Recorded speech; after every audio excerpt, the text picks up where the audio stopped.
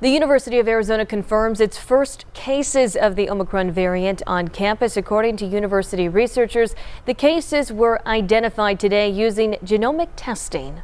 This was detected through actual patient samples. Uh, and so at the university, we have a, a system where uh, we test using a saline gargle, so just a saltwater mouth rinse that you can detect the virus in.